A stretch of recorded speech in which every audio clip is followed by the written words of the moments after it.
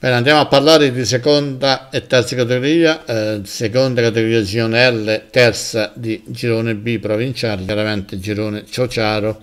eh, da parlare appunto eh, dei risultati, sesta giornata va la seconda categoria, i briganti idri in attesa ancora del ricorso legato appunto ai fatti dell'altra domenica fuori casa, eh, ha pareggiato in casa contro l'Accademia Sabotino Mare, mentre la formazione della Vintex Gaeta ha perso fuori casa contro San Martino Calcio 2 a 1.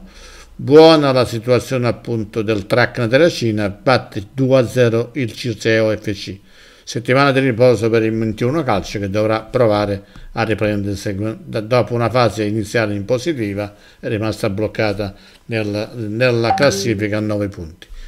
Per il prossimo turno, settima giornata, è chiaramente eh, una giornata che deve dare delle risposte ad alcune formazioni.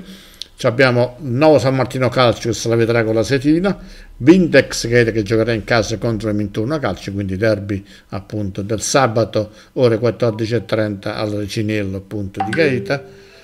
Circeo, Circeo città di Maenza e ancora Briganti Cori Monti dei Pini fuori casa e eh, Norma Traccana eh, Terracina. Per la terza categoria eh, provinciale, girone B, eh, ripeto, girone eh, appunto mm, Ciociaro Pontino, eh, abbiamo appunto la Polisportiva Gaeta che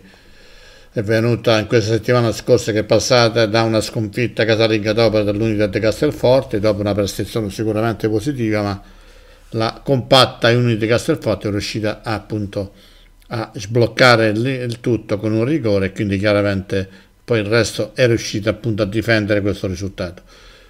Eh, vince invece in trasferta la Vigor Gate in casa della Sant'Ambrogio Calcio, quindi altro eh, risultato positivo per il team gaetano e ancora la formazione del, del Penitro che comunque non gioca, ha riposato per questa eh, do, domenica, questo weekend.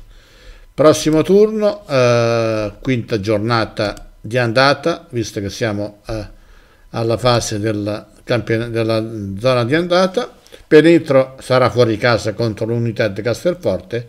Vigor Gate affronterà lo Sporting Club Cassino